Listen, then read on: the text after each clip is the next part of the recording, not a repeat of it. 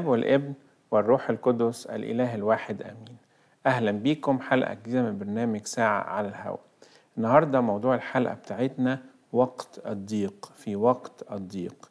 آه ربنا يدينا نعمة ويسمعنا كلام يعزينا ويتكلم جوانا كلنا ويرشدنا بروحه القدوس عشان نعرف نجتاز آه كل واحد على حين حدة وكلنا مع بعض وقت الضيق.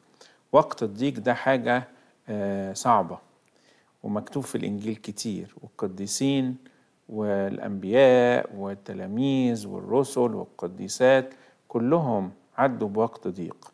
ويمكن لما بنقرأ في الإنجيل من من النادر جدا لما نلاقي إن حد من الآباء البطاركة الأولين أو الأنبياء أو التلاميذ أو في سير القديسين نلاقي إن حد كانت حياته عدت من غير ضيق أو من غير تعب.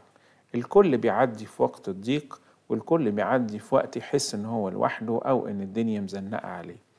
أنواع من الضيق هنتكلم النهاردة عن بعضها. المهم عايزين يعني ربنا يرشدنا ويعلمنا كيف نجتاز وقت الضيق وإزاي يكون لنا إيمان وأمانة وقوة في وقت اللي إحنا فيه حاسين إن الدنيا متطربقة علينا والظروف صعبة علينا. الضيق بيجي من حاجات كتير قوي. ضيق بيجي من مشاكل الناس حوالينا من الشر من الظروف الصعبة. بيجي من تجارب الشيطان. هل ربنا يقدر ينجينا من الضيق حتما. يعني ده حاجة يعني ما فيهاش شك بالتأكيد. ربنا قادر إن هو يعدي بينا كلنا من أي ضيق ايا كان هذا الضيق. طب هل ربنا أحيانا يسيبنا؟ أحيانا. هل أحيانا ربنا يسمح بضيق؟ أحيان كتير قوي. هل ربنا يسيبنا في وقت الضيق؟ ده مش ممكن. يعني ممكن يسمح بالضيق يسمح بالضيق. يسمح إن الضيقة تفضل موجودة جايز. يسمح إن الشر يعاكسنا حوالينا أو إن الناس تعاكسنا أو الشيطان يحاربنا أو يجربنا جايز. لكن إن هو يسيبنا في وقت الضيق ده شيء مش ممكن يحصل ابدا. عشان كده حتى صلوات المزامير مملوءة بتعزيات وقت الضيق. يقول لك ادعوني وقت الضيق انقذك فتمجدني. وصرخت إليك يا رب في ضيقي واستجب لي يا رب وفي يوم شدتي إلى آخره. فالمزامير مليانة كلها بالصلوات اللي تعزينا وتقوينا وتأكد لينا إذا كان هناك ضيق في حياتنا وقت قصير أو وقت طويل. بسبب ضعف فينا أو بسبب الظروف اللي حوالينا أو بسبب ضغط الناس أو ضغط المجتمع أو ضغط الشر اللي حوالينا أو وجود تجارب من العدو كل هذا جايز. لكن إن الله يتركنا في الضيق هذا مش ممكن ابدا يحصل. ده إحنا اولاده وعلى اسمه وهو يعني وعدنا بذلك. قال في العالم سيكون لكم ضيق لكن ثقوا أنا قد غلبت العالم. تعالوا نشوف كده إيه مظاهر مشاعرنا وأفكارنا بالضيق لأن دي الحقيقة عايزين نتكلم عليها شوية.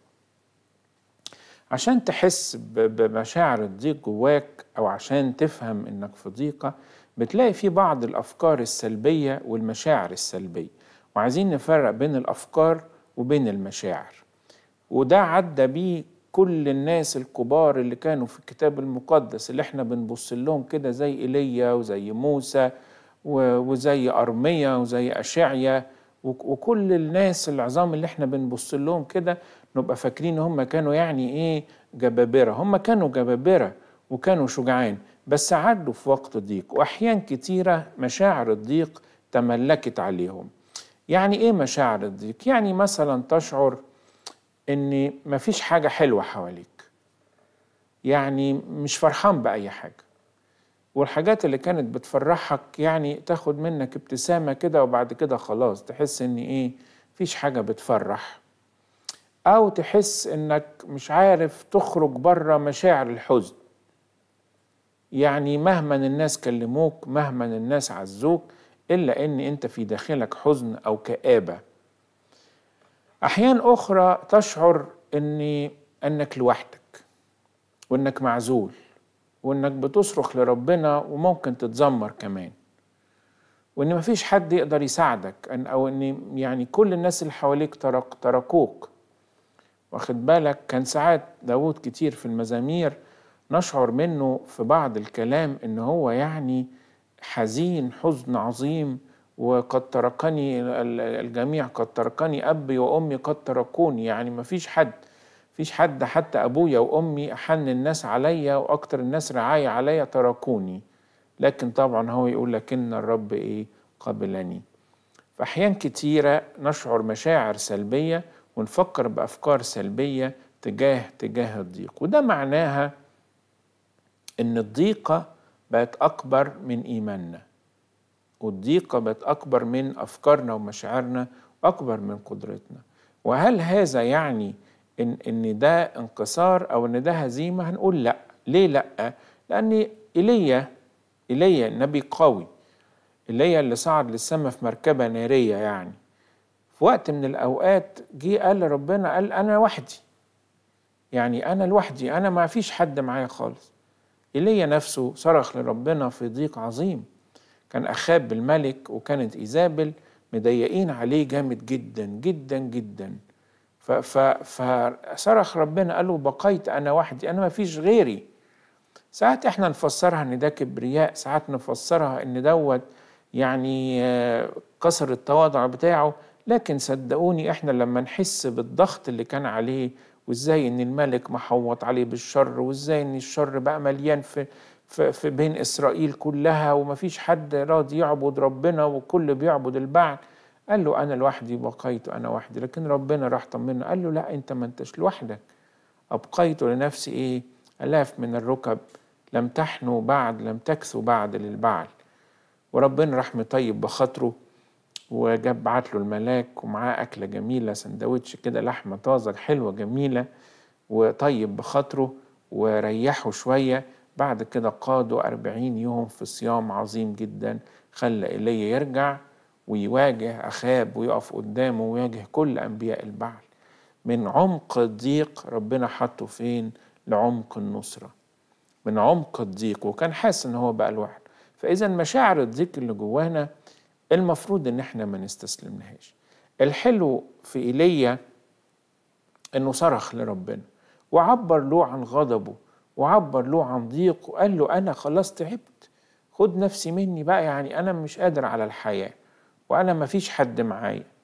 وبيعبر عن ضيق وبيعبر عن حزن فده خلى ربنا يتعاطف معاه وي ويقويه ويديله راحة ويديله سلام وبعد كده يصوم ويرجع يواجه خاب وإيزابل وبناء على المواجهة بتاعته دي ونصرة ربنا وإنه قبل ذبيحته خلى كل كهنة أنبياء البعل دول يموتوا ويذبحوا إلى آخره. فإذا طبيعي إن إحنا نشعر بالضيق. ولو أنت ما شعرتش بالضيق يبقى الحقيقة أحاسيسنا البشرية دي فيها مشكلة لأن حتى المسيح بكى. وحتى المسيح يعني بكى على أورشليم. وحتى المسيح يعني في يوم ليلة الجمعة العظيمة والجمعة العظيمة شعر بظلم الناس وشعر وشعر بثقل خطية العالم اللي هو حملها إلى آخره. فالمسيح كان بكى مرة واثنين وثلاثة المسيح كان بيتألم لألام الناس وكان بيبكي على أورشليم والنفوس اللي هي دي مش قابلة الخلاص ولا قابلة الكلمة ولا قابلة الموعظة. فإذا طبيعي جدا إن إحنا نشعر بضيق وطبيعي إن إحنا نشعر بالآثار السلبية للضيق. لكن إن إحنا نستسلم لها لا. مش هو ده اللي إحنا إيه هنستسلم لها هنتكلم ونشوف بسرعة إزاي ناس من الكبار دولت قاوموا المشاعر السلبية وقاوموا الأفكار السلبية. مثلا موسى. موسى يعني عارفين كلنا حكايته عارفين هو قد إيه كان متردد. وقد إيه ان هو كان يعني يعني حاسس بصغر نفس وحاسس إن هو أضعف من المهمة اللي ربنا عايز يحطه فيها. ومع ذلك أطاع ربنا وربنا اداله أن يصنع قوات أمام فرعون. وفي يوم دخل لفرعون هو وهارون وقال له بص يا فرعون واحد اتنين تلاتة إحنا ربنا بعتنا ليك عشان واحد اتنين تلاتة. راح فرعون قس قلبه بزيادة وقال له طب بص أنتوا كنتوا بتقدموا مثلا قد كده آه طوب لبن أنتوا بقى بصوا هتعملوا إيه؟ أنتوا هتقدموا ضعف الكمية بتاعتكم وكمان إحنا كنا بنجيب لكم القش وال... وكل هذا الكلام واللبن من أرض مصر أنتوا هتلفوا تجيبوه وتعملوا كمان ضعف الكمية اللي عليكم. يعني كأنه مش ضعف الشغل ده خلاهم يعملوا شغل ما كانوش بيعملوه ويضاعفوا الشغل بتاعهم كمان. والحقيقة موسى يعني خرج يعني كان فاكر إن هو هيخش كده يقول الكلمتين وفرعون يروح إيه مسلم على طول. فهو خارج موسى وهارون قابلهم الرؤساء العشاير ورؤساء الناس اللي كانوا بيشغلوا الناس من اليهود من بني إسرائيل. وراحوا قالوا لموسى وهارون لقد انتنتما رائحتنا أمام فرعون. يعني أنتم اللي عملتوه ده أثقلتم علينا بزيادة وأنتوا هتتعبونا. وقعدوا يقولوا لهم في كلام سلبي. فموسى انكسر. ودي كانت بداية خبرته مع ربنا. وراح وقف قدام ربنا وقال له إيه؟ أنت لم تخلص شعبك. قال له أنا يا رب عملت اللي أنت قلت لي عليه. أنا رحت لفرعون وكلمته بنفس الكلام اللي أنت قلت لي أقوله ولكنك لم تخلص إيه؟ شعبك. موسى هنا أحبط. موسى حس إن هو بدل ما هو رايح يساعد راح لخبط الدنيا بزيادة. ودي دايما خطوات الضيق. دي دايما الخطة اللي بتكون موضوعة. لأن الحقيقة الموقف ده خلى موسى يصرخ قدام ربنا. فراح ربنا قال لموسى قال له الآن أريك ما أنا فاعله. الآن أريك ما أنا فاعله. ومن هنا ابتدت الضربات العشر. ومن هنا ابتدى موسى يوم بيوم وضربة بضربة ضربة بضربة خطوة بخطوة يحس قد إيه يد الرب قوية قد إيه يد الرب عزيزة. وده اللي خلاه بعد كده يشق في البحر ويضرب الصخرة بالعصاية ويقود الشعب إلى حيث لا يدري إلى حيث لا يعلم ثقة واتكالا على قوة الله. فإذا الحقيقة موسى هنا لما شعر بالضيق ما راحش قعد يدور بعيد ما راحش قعد يسيب ربنا ويمشي ويرجع تاني يرعى الغنم بتوعه ولا يا عم أنا ماليش دعوة بالسكة دي السكة دي لكن صرخ لربنا. وربنا وراه وقال له بص هتشوف. وده اللي بولس بيقوله بولس يقول إيه؟ نفتخر بالضعفات. في روميا خمسة آية 3 لأن الضيقة نفتخر بالضيقات آسف نفتخر بالضيق. ليه؟ لأن الضيقة تنشئ صبر والصبر تزكية والتزكية رجاء. فإذا إحنا الحقيقة لازم نفهم إن كل ضيقة إحنا فيها هي مش على الفاضي مش عذاب وخلاص مش ربنا بيسمح بيها عشان خاطر إن إحنا يعني إيه آه يتعبنا. لا ربنا مش عايز يتعبنا. أو ربنا يخلينا نشعر بالألم ربنا مش عايز يعني ده في حد ذاته مش هدف. إنما الهدف هو إن هو يوريك أنا أقدر أعمل إيه. يوريك قدرته فترتبط بيه فتحبه. فتلاقي الضيقة مش ضيقة. هتلاقي بعد كده اني يعني ما أنا معايا اليد العزيزة ومعايا اليد القوية. هتعملي إيه معايا يا ضيقة؟ من الغلبة والنصرة معايا. ومن هنا موسى ابتدى يختبر يد الله القوي. وسنة بسنة بقى موسى اللي إحنا نعرفه اللي ما يتهزش كده بسهولة. اللي مش لما يقف قصاد البحر والدنيا مقفولة قدامه يقول لهم قفوا وانظروا خلاص الرب. أيوه إحنا مش شايفين حاجة يا موسى. قول لنا اللي انت شايفه. يقول لهم أنا مش شايف غير إيد ربنا. يقولوا له ده البحر قدامنا وفرعون بجيش ورانا وجاي هيموتنا كلنا. هم يتهزوا لكن موسى ما يتهزش. ليه يا موسى ما تهزتش؟ قال لك أنا اتهزيت قبل كده وشعرت بالإحباط وشعرت بالضيق وشعرت بالخيبة. لكن لما شفت يد الله واقفة معايا وشفت يد الله تقدر تعمل إيه عرفت وبقيت متشجع وبقيت حسيت إن أي ضيقه هتواجهني يد الله هتكون معايا ويد الله هتسندني ويد الله هتنجدني. ومن هنا موسى قاد إسرائيل أربعين سنة في البرية أربعين سنة في الصحراء. ولو إحنا بنتكلم على إيد ربنا مع بني إسرائيل أربعين سنة هنلاقي إن هم يعني في الصحراء. لا في أكل ولا في شرب ولا في حماية. لكن مع ذلك كان ربنا يضلل عليهم بالسحاب. وكان بالليل والدنيا عتمة عمود نور ينور لهم المحلة. ودول ما كانوش عشرة ولا عشرين ولا مية ولا ألف ولا ألفين. ده الكتاب يقول كانوا ستمائة ألف ماشي ستمائة ألف ده بسن سن الحرب. يعني اضربوا في أربعة اضربوا في خمسة مثلا ولا حاجة. ستمائة ألف ده عدد الذكور من سن الحرب غير الأطفال غير العواجيز غير النساء إلى آخره. فدول كانوا في البرية بيشربوا وبياكلوا وربنا بيحميهم لغاية ما وصلهم لأرض الميعاد سواء بقى كان الجيل اللي بعديه بس هم خرجوا 600 ألف. تخيلوا بقى بعد 40 سنة كانوا كام واحد. وبالتالي اختبار يد الله في الضيق من أعظم الاختبارات اللي الواحد يعدي بيها في الضيق.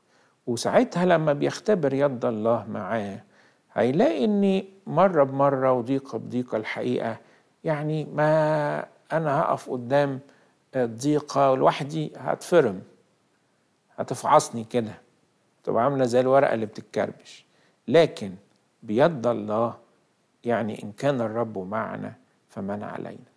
ويكفي الوعد الجميل اللي هو بيقول إيه؟ يقول في العالم سيكون لكم ضيق لكن ثق وأنا قد غلبت العالم. فإحساسك وأنت داخل الضيق أو في الضيقة في في وسطها في آخرها في أولها هتكمل بقية العمر. لكن إحساسك بيد الله جنبك هتخليك تقول إيه؟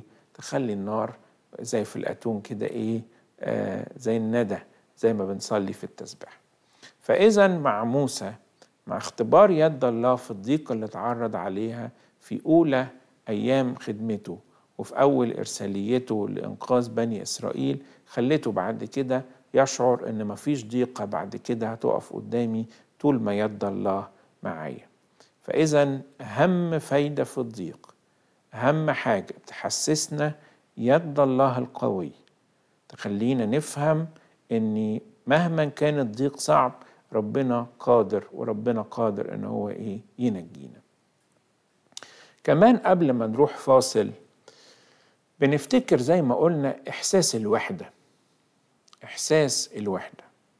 وإحساس الوحدة ده صعب. ويقول لك الكل تركوني الكل إلى آخره. وده بيبقى فكر الضيق يعني بقى هو اللي مالي مخنا ومش شايفين حاجة تاني غيره. وساعتها لازم نلجأ للصلاة. وساعتها لازم نلجأ لاستجابات سريعة من الله.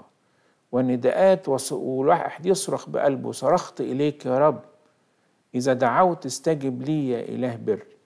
لأن من أكتر الحاجات السلبية اللي بتواجه الإنسان في وقت الضيق إنه يشعر إن هو لوحده. وبصراحة يعني ربنا يديني ويديكم القوة ده شيء صعب قوي. لما تبقى واقف قدام ربنا وتقول له يا رب أنا لوحدي. أو تشعر في داخلك أن ربنا قد تركك. أو إن حتى ربنا بقى من أعدائك. يا ابونا هي توصل للدرجة دي؟ آه. أحيانا الواحد يقول لربنا أنت ليه بتعمل فيا كده؟ وكأن ربنا هدفه إنه ينتقم منه مثلا أو هدفه إن هو يعذبه. لا ربنا هدفه إن هو ينقينا. ربنا هدفه إن هو يخلصنا. ربنا هدفه إن هو يكمل ضعفاتنا ويكمل في شخصيتنا. لكن إنك تشعر إن أنت لوحدك ده خطر عظيم جدا. لأني عارف ربنا يقول لك إيه؟ إن نسيت الام رضعها أنا لا أنساكم. يقول لك قد نكشتكم على كفي شعرة من رؤوسكم لا تسقط ده كلام وعد إلهي. هو ربنا هيقول كلمة ويرجع فيها هو ربنا هيقول كلام ويكسره هو ربنا هيوعدنا بحاجة وما يعملش بيها. ده إحنا إذا كنا إحنا كبشر نقول لك وعد الحر دين عليه مش بنقول كده؟ أو لو أب بعد وعد لاولاده بوعد ولا حاجة يحاول جاهدا إنه يفضل ينفذ وعده لحسن ما يسكوش فيه تاني. فما بالكم ربنا؟ طبعا دي بتبقى كلها أفكار شيطانية. وبيبقى إن الضيق ملأ قلب وعقل الإنسان. فالإنسان يشعر إن آه ربنا تركه أو إنه متروك في هذا العالم لوحده أو متروك في وسط الضيق لوحده.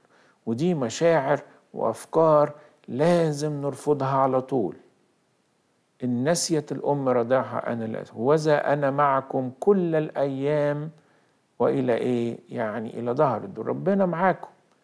وربنا معانا أنا معاكم. أقصد ربنا يقول لنا كده أنا معاكم. وعمانوئيل الذي تفسيره الله معنا. ولا أتركك وأؤيدك وأعينك أنا هو الممسك بيمينك. فهذه الوعود الإلهية لازم تكون واضحة قدام عينينا. والإنسان اللي بيصلي دايما بيكون كلام ربنا يعزيه وكلام ربنا يقويه.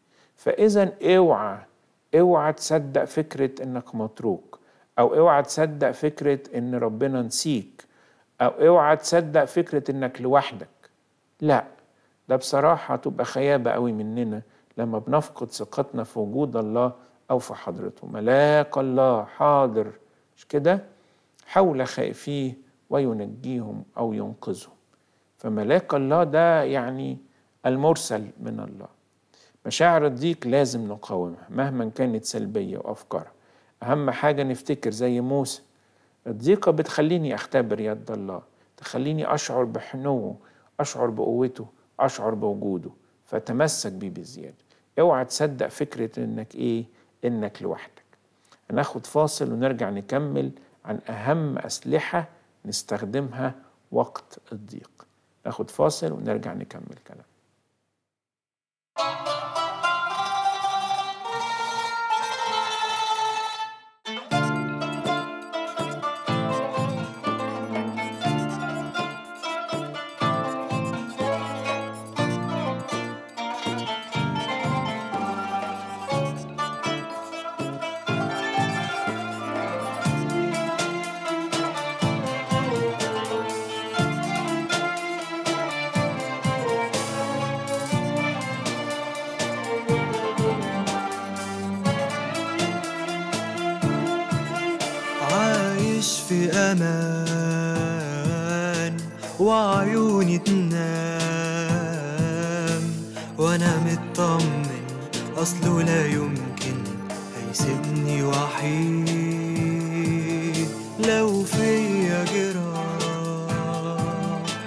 بكلام ارتاح خاطري طيب قلبه الطيب وببقى سعيد. يا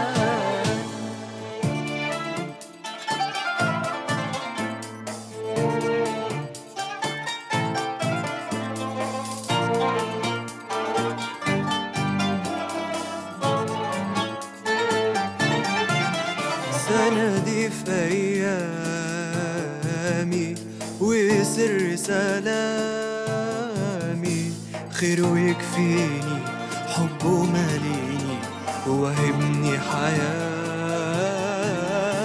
يا شمس نهاري كاشف أسراري. ستراني ايدي أنا مديون لي بالعمر معاه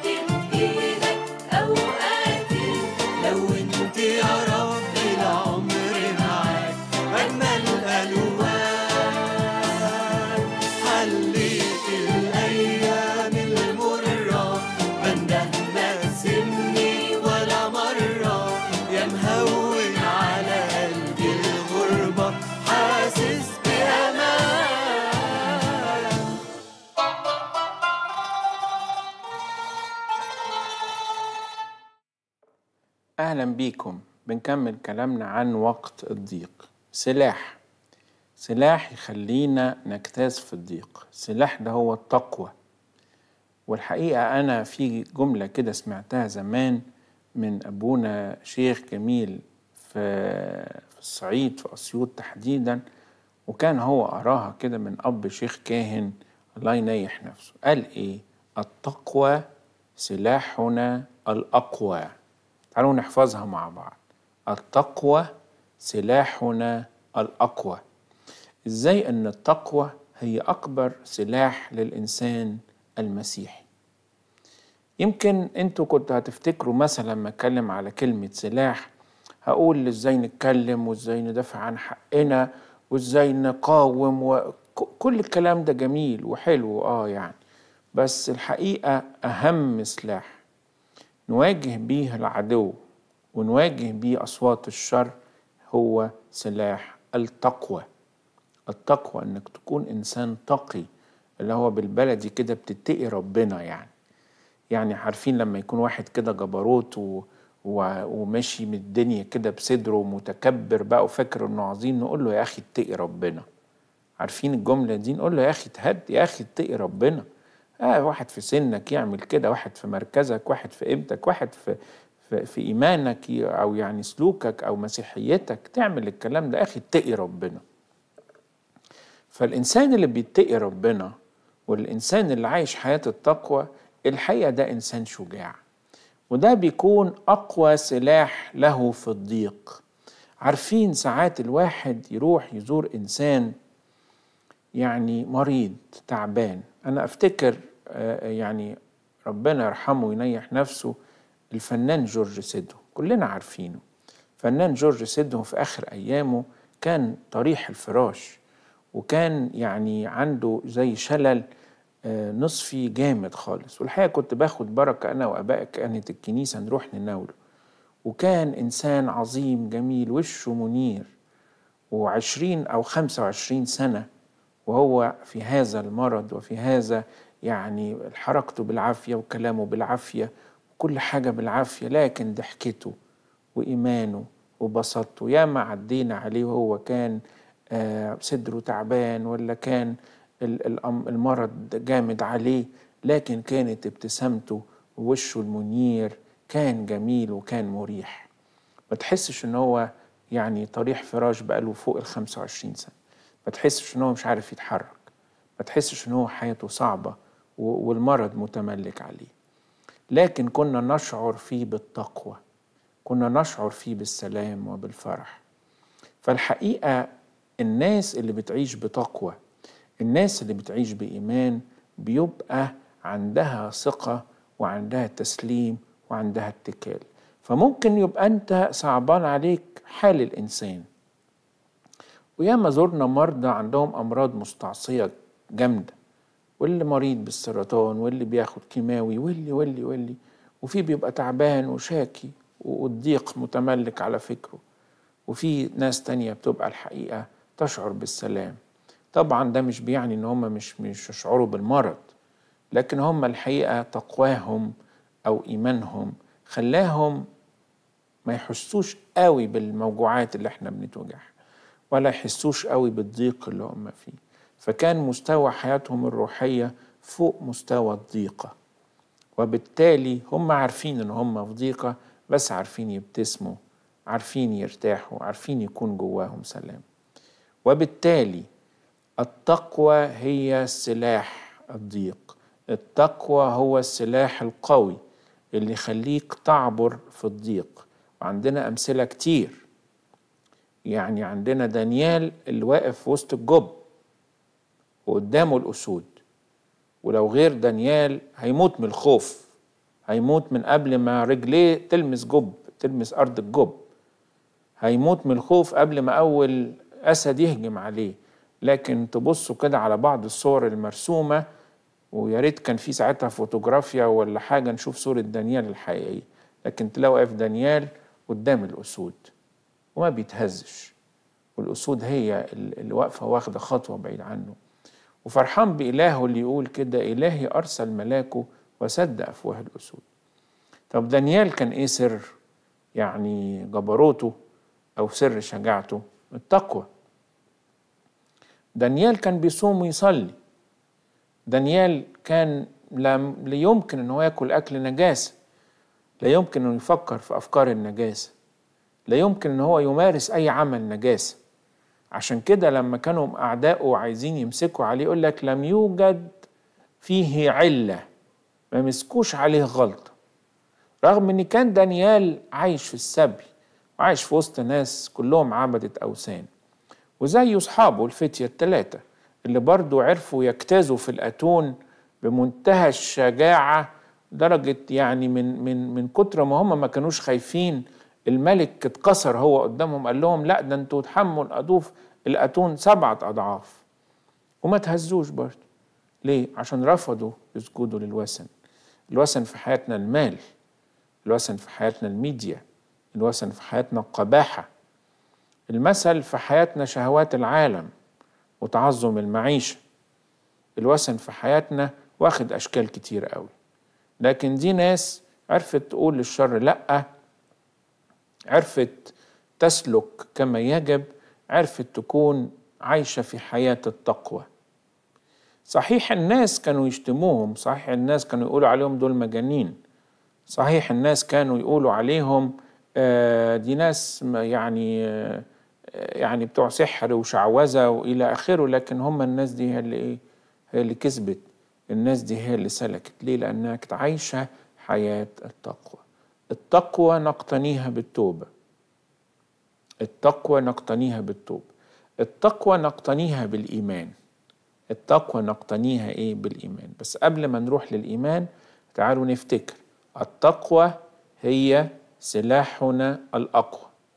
التقوى هي السلاح اللي إحنا بيه نغلب العالم نغلب الضيق. كل ما بتكون عايش حياة التقوى كل ما أنت تكون بتتقي ربنا بتخاف ربنا في حياتك كل ما تلاقي يد الله واضحة معاك. اقروا الإنجيل وافتحوا سير القديسين وشوفوا التقوى هي إيه؟ سلاحنا الأقوى. عشان نقتني التقوى لازم يكون عندنا إيمان. والإيمان طبعا بولس الرسول في رسالة العبرانيين إصحاح كامل. في رسالة العبرانيين بتتكلم عن الإيمان. يقول الإيمان هو الثقة بما يرجى والإيقان بأمور لا ترى. لما تشعر أن الضيقة غلبتك مهما كانت كبيرة ولا صغيرة مهما كانت هي ضيقة حقيقية ولا أنت اللي حاطط نفسك في الضيقة وهي ما هياش واقع حواليك. وكانت الضيقة دي من جواك مخاوف أو قلق أو حاجات أحداث خارجية حواليك. كل هذه الضيق الحقيقة لما بنشعر إنها بقت أقوى مننا فبلعت سلامنا وبلعت فرحنا وبلعت ال ال ال اليقين بتاعنا بثقتنا في ربنا تفهم إن الضيقة أكبر من إيماننا. وإحنا عارفين طبعا إن الإيمان يكفيه إيه؟ حبة صغيرة. يعني مش محتاجين عشان ننقل الجبال أو نهزم الضيق لإيمان عظيم. محتاجين بس إيه؟ ثقة في مواعيد الله. فاكرين التلاميذ لما كانوا مع المسيح في العاصفة؟ أصل ده أكبر درس للإيمان. لأن المسيح يعني الحقيقة لمهم وعاب عليهم. وقال لهم إزاي تشكوا؟ والحقيقة كلنا عارفين إن هم كانوا بحارة. يعني كانوا أغلب التلاميذ باستثناء متى وكم واحد كده.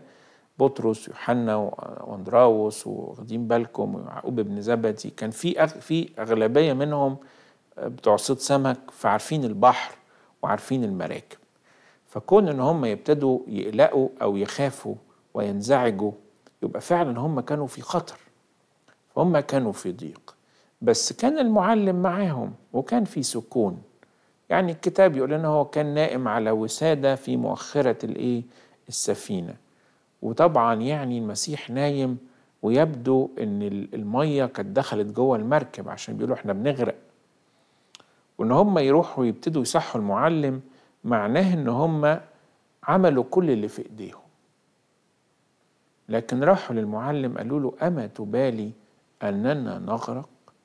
بصوا الجملة كانت سلبية. الجملة اللي راحوا بيها يصحوا المسيح من مؤخرة السفينة كانت جملة سلبية. لأنه بتقول لهم أتوا بالي هو أنت مش فارق معاك يعني؟ إحنا بنغرق. فالمسيح يعني وقف كده وقال لهم إيه ده؟ كيف لا إيمان لكم؟ أنتوا بتشكوا ليه كده؟ فهم يعني الحقيقة يعني أكيد رد فعل المسيح خلاهم يسكتوا. سكتوا خالص. وقف المسيح الأول السفينة. بمنتهى البساطة انتهر الريح وسكت البحر وصار هدوء عظيم. فراحوا كلهم قالوا إيه ده؟ من هو هذا الذي إيه؟ الطبيعة تطيعه البحر والريح؟ حد يكلم البحر؟ حد يكلم الريح؟ حد يهدي العواصف؟ إلهي وإلهكم. إلهي وإلهكم. بس هو المسيح عاب عليهم.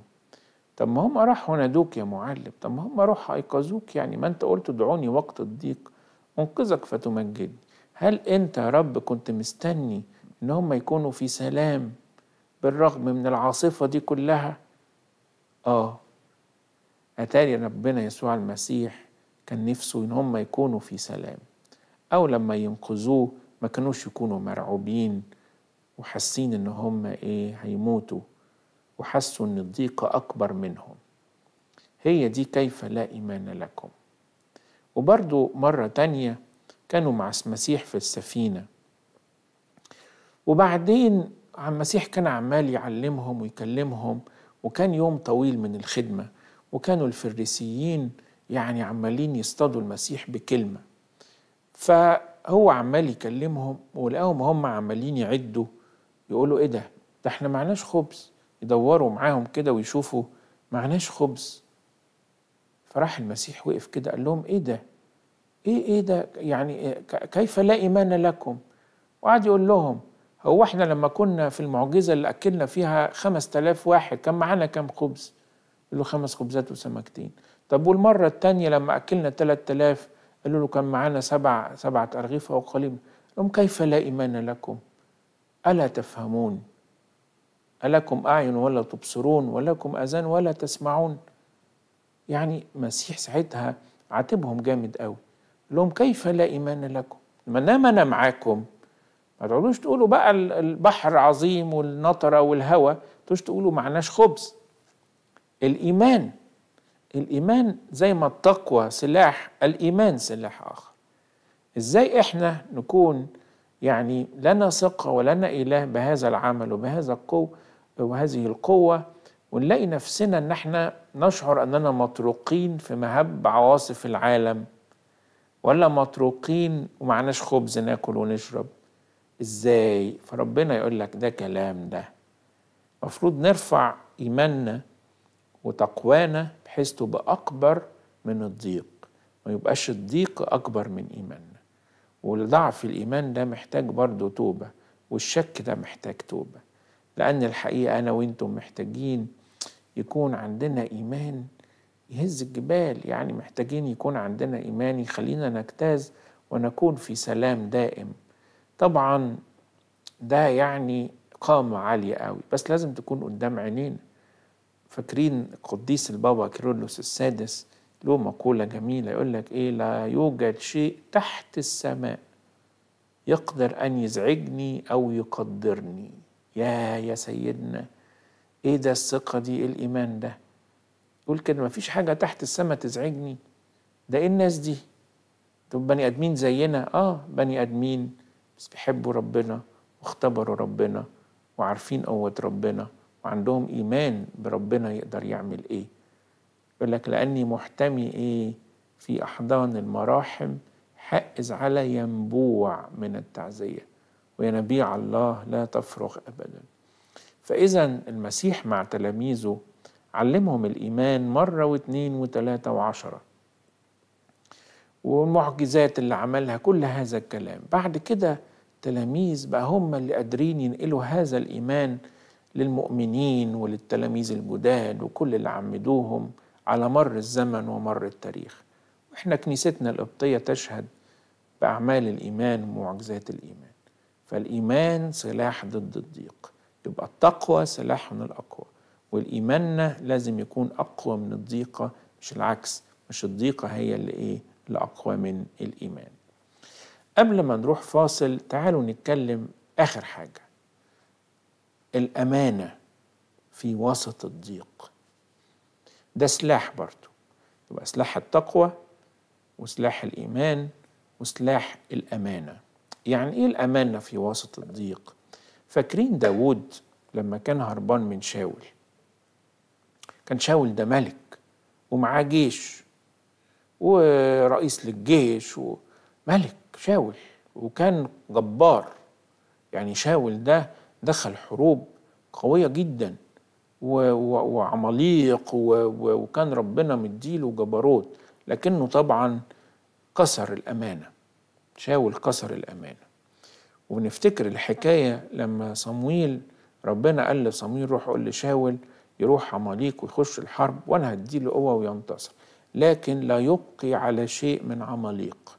لكن الحقيقة شاول ما سمعش الكلام.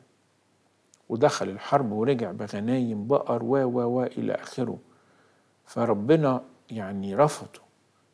وكلم صمويل كده وقال له روح شوف شاول ده عمل إيه. وراح شاول وراح صمويل. صمويل آسف. ربنا قال له روح شوف شاول عمل إيه.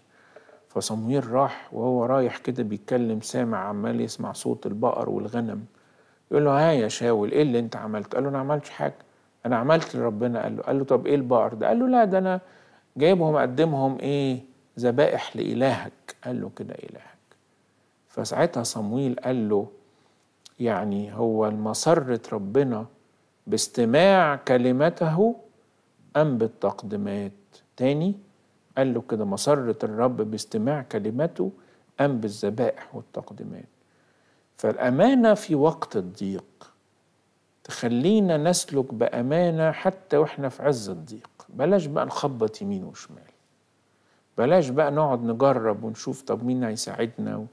و... و... ونسلك مسالك بتاعت العالم ونسلك مسالك وإلى آخره. كل هذا الكلام. ليه؟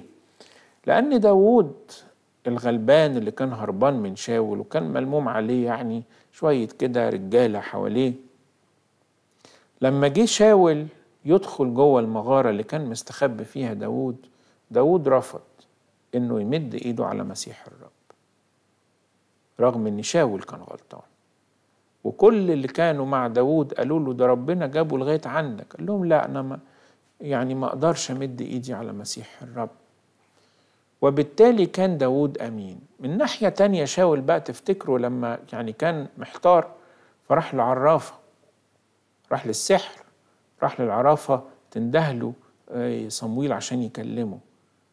طبعا صمويل جه وكلمه بس مش بيد العرافة يعني حتى في الكتاب المقدس العرافة خافت وجريت ما صدقتش. لكن صمويل انتهر شاول.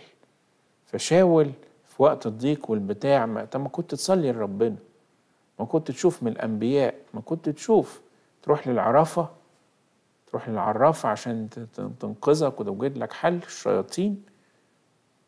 لكن داود كان أمين في عز الضيق وكان داود كان نفس الكلام على يوسف. ويوسف بقى بيحمل في داخله الأمانة والتقوى والإيمان الثلاثه اللي إحنا بنقول عليهم. فسلاحنا في الضيق هي التقوى التوبة والنقاوة.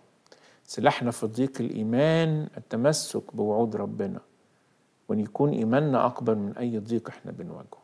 نتألم ماشي نحتار ماشي نتعب ماشي لكن الضيق يتملك علينا؟ لا. كمان الأمانة في وسط الضيق. إزاي تسلك بأمانة؟ إزاي تضع جمر نار على رأس أعدائك؟ إزاي إنك تسلك بأمانة؟ إزاي تكون واثق أن الرب لا يترك عصا الخطاة؟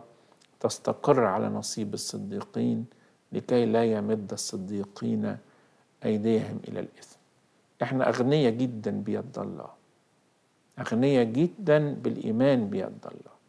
أغنياء جدا بعمل الله في حياتنا. فما ينفعش أبدا نفتقر لخبز ولا نفتقر لضيق ولا تكون حاجتنا في يد حد تاني ونخاف. لنا إيمان وثقة في عمل الله ندعوه في وسط الضيق هناخد فاصل ونرجع نكمل دور الصلاة في وقت الضيق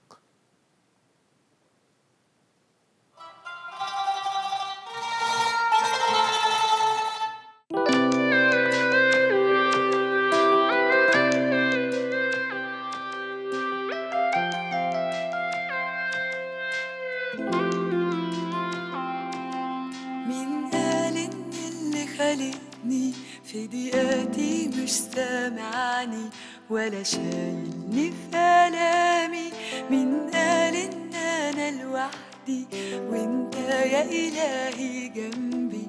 ومعايا كل أيامي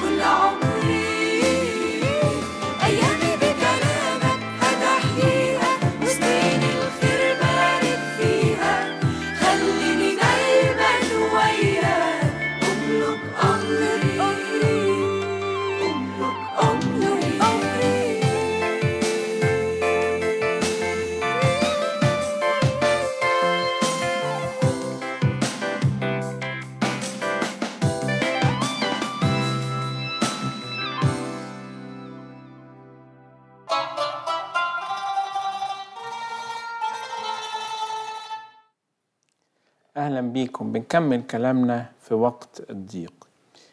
أكبر معونة للإنسان ربنا اداها له وأكبر نعمة هي الصلاة. عشان كده رب المجد يسوع علمنا إزاي نصلي.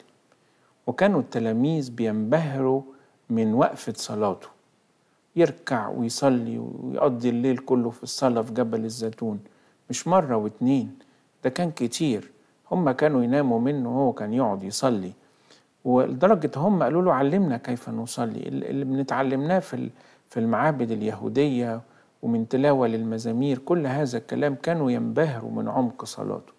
وكذلك يعني داود النبي في صلاة المزامير ودانيال النبي لما كان يصلي مرة واثنين وثلاثة كل يوم ومش ممكن يفوت صلاته مش ممكن يفوت صومه. شفنا صمويل النبي لما كان يسمع سمع كده تكلم يا رب فإن عبدك سامع.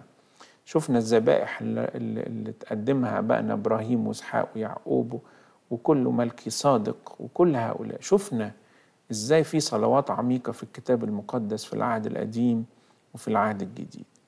وإزاي إن الصلاة نعمة كبيرة من ربنا تخلينا نعرف نتقوى ونعرف نعدي في وسط الضيق. يعني مثلا في سؤال جاي بيقول ليه ربنا بيسمح بضيقة في وقت الواحد كان منتظر فرحة كبيرة؟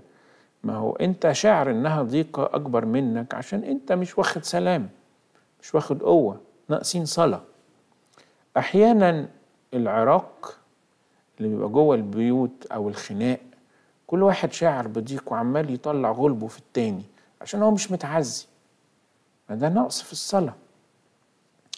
زي كده واحد بطاريته فاضية مش هيعرف يشغل حاجة مش هيعرف يكون إيجابي.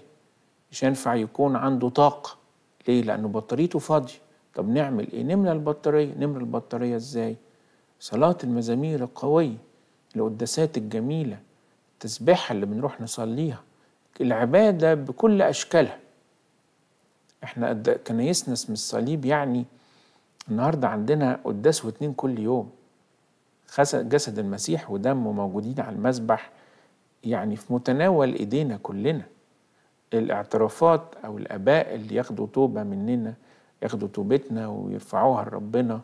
الحقيقة يعني الكنايس بقت يعني مليانة بالكهنة والاعتراف مجاني يعني الاعتراف التوبة مجانية والذبايح موجودة. فكل الكلام دوت يخلينا أقوى من مشاعر الضيق. فاللي شعر إن الضيقة كبيرة في وقت هو مستني فرح راجع نفسك لعل تكون أنت اللي ضعيف قصاد الإيه الضيقة معانا تليفون من ماهر. أهلا بيك يا ماهر. يا أستاذ بونا أهلا بيك. كل سنة وقتك طيب يا بونا وأنت طيب. تعيش تعيش يا ماهر. اتفضل. ربنا يخليك يا بونا أنا سؤالي إزاي؟ هو موضوع الحلقة جميل جدا يا بونا اللي هو يا الضيق. آه إزاي نعدي ساعة الضيق دي يا بونا ده آه سؤالي. إحنا أشكرك يا ماهر. الضيق نعديه بصبر. الضيق نعديه بالصلاة. الضيق نعديه بال- بالقوة. الضيق نعديه وإحنا عندنا إيمان. عارفين فكر التلمذة وروح التلمذة قوي جدا. يعني الواحد ممكن يروح متضايق يركع ويصلي. ويروح يقعد مع أب اعتراف ويقول له يا أبونا صلي لي وأتوب عن خطاياي وأتقوى وأتعزى. نفس السؤال ال- ال- اللي واقع اللي بيقول عليه ماهر. بيقول أنا وقعت في مشكلة وربنا نجاني منها لكن الشيطان دايما يقول لي توقعي مشكلة تاني ومش هينجيكي منها. طب ما ده قلة إيمان ليه أنا بسمع صوت الشيطان؟ فلما السؤال بيقول أعدي إزاي وقت الضيق؟ واحد هنصلي هنتقوى هنجدد إيماننا هنصبر هنبقى متأكدين إن ربنا معانا. عمرنا ما نسمع الكلام السلبي بتاع الشيطان. ما هو اللي بعد السؤال ده بيقول الشيطان بيقول لي طب انت ليه بتسمعي كلام الشيطان؟ ليه بتسمعي الكلام السلبي بتاع الشيطان؟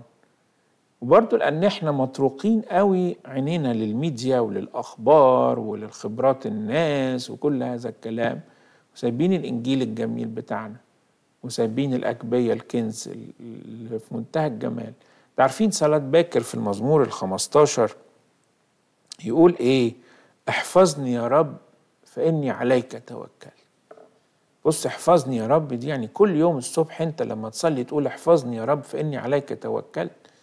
طب عايز نقول إيه تاني يا ربنا؟ ليه ليه مش هيصدق؟ ليه مش مصدقين كلام ربنا؟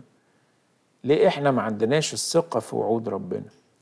فالصلاة المتكررة تقوي الإنسان فتخلي الضيقة صغيرة مش كبيرة. يبقى إيماننا ونفسيتنا وروحانيتنا أكبر من الضيق أكبر من المرض. فكلمة ضاق بها النفس دي كان البابا شنودة يقول الكلمة دي الله ينايح نفسه. هي تسمى ضيقة لأن قد ضاقت بها النفس. طب تعالوا نوسع النفس شوية هنوسعها إزاي غير بالعمل الروحي غير بالعبادة غير بالتوبة غير بالتقوى غير بالإيمان غير بالأمانة. كل الكلام دوت يوسع الإيه؟ يوسع النفس. عارفين المزمور برضو 26 الرب نوري وخلاصي ممن أخاف. الرب حصن حياتي ممن أجزع. عندما يقترب مني الأشرار مش كده؟ أعدائي إيه؟ سقطوا. ونصرخ ربنا يقول له لئلا يقول عدوي إني قد قويت عليه. لما نقول يا متى يا رب تنساني؟ أو أنا مش حاسس بإيدك. لكنك لكني أعود وأقف أمام إيه؟ هيكل قدسك. هرجع. هرجع بقوة وأشكرك وأقدم لك الذبائح. كل هذه الصلوات وكل هذه ال ال الأعمال العظيمة اللي بنقدمها لما نفتكر ربنا وأعمال عمل أقصد عمل روحي بنقدمه بإيجابية بتقديمات بنقدم توبة بنصلي بنروح الكنيسة تسبحه بتخلي النفس فرحة. مش كلنا بنقعد نحب قوي سبعة وأربعة ونحب قوي تسبيحة كيهك ليه بنبقى فرحانين فيها ونطلع فرحانين كده؟ تسبيحة والصلاة تدي للإنسان طاقة وتدي للإنسان إيه؟ معونة. كمان في وقت الضيق في مزامير اسمها مزامير الرجاء. مزامير الرجاء. المزامير دي اللي هي هتلاقي أغلبها هتلاقوا أغلبها في صلاة الساعة الثالثة يبتدي كده بيستجيب لك الرب في يوم شدتك. فمزمور 19 أول مزمور في الصلاة الساعة الثالثة الحقيقة مزمور كله إيجابية. مزمور كل أفعاله إيجابية. يستجيب ينصرك يرسل لك يذكر جميع ذبائحك يعطيك الرب حسب قلبك. هؤلاء بمركبات هؤلاء بخير نحن باسم الرب إلهنا ننجو. هم عثروا وسقطوا ونحن قمنا وانتصبنا يا رب خلص ملكك واستجب لنا يوم ندعوك. قد إيه المزامير قوية؟ قد إيه الإنسان المريض يقعد يصلي مزامير؟ قد إيه الإنسان ال- اللي ترك أو يعني شغله آه، مشوه منه وبيدور على شغل يقعد يصلي في مزامير الرجاء دي. قول الرب يرعاني فلا يعوزني شيء. قد إيه الإنسان اللي مستني نتيجة تحليل صعبة ومستني آه، يعني آه، أمل يصلي مزامير ويقول له يا رب انقذني. هل ربنا يعني ينقذنا من الضيقة كده فجأة؟ لا مش شرط. مش شرط عشان الواحد يكون أمين معاكم. أحيانا ربنا يقصد الضيق زي ما حد باعت من السؤال. بس تأكد تأكد هيعدي بيك منه. تأكد هيبعت لك كل المعونة اللي محتاجها. تأكد هيعدي بيك في كل حاجة. فلما بنصلي وبنرمي حملنا على ربنا ربنا بيرسل تعزية سماوية مجيدة. يقول لك لا ينطق به لأن فرح المسيح وفرح الله في قلوبنا مش معناه دايما راحة لكن معناه نصرة. مش معناه إن إحنا ارتحنا من الحرب أو ارتحنا من الضيق لكن معناه إن إحنا انتصرنا في الحرب أو انتصرنا على الضيق. فدي تعزية ربنا لينا. فاللي تعبان اللي مريض اللي مستني يعني أخبار حلوة اللي, اللي, اللي, اللي يعيني يعني في ضيق ما بسبب احتياجات أو بسبب فقر لشغل أو بسبب مرض أو عارفين كلنا بنعدي في مستنيين خبر قضية مستنيين نتيجتها. ظلم ظلم ظلم مستنيين يترفع عننا. كل هذه الأمور بنن- بننجو بننجو منه. إزاي؟ بنصرخ لربنا نقول له إذا دعوت استجب لي يا إله بري وحتما حتما وأكيد إن ربنا لا يترك ابدا محبيه وربنا لا يرد ابدا أو يسد أذنيه عن كل الذين يصرخون نحوه. صدقوني ده حتى لو أنا بقول لكم سلاحنا هو التقوى ده حتى لو واحد إنسان وبعيد عن ربنا وبيصرخ إليه ربنا بينجيه. يا أحبائي في آخر الحلقة نحب نقول كده الضيق مهما كان لنا إيمان لنا تقوى لنا أمان. ده المجهود اللي بنقدمه من ناحية ناحية تانية النعمة الإلهية بتشتغل والنعمة الإلهية بتغلب دائما. في العالم سيكون لكم ضيق لكن ثقوا أنا قد غلبت العالم. نجدد إيماننا. إلهنا رؤوف رحيم لا يتركنا ابدا. يمد إيده وينجي ويقوي من الضيق. ربنا يحفظنا جميعا. لإلهنا كل مجد وكرامة من الآن إلى الأبد. آمين.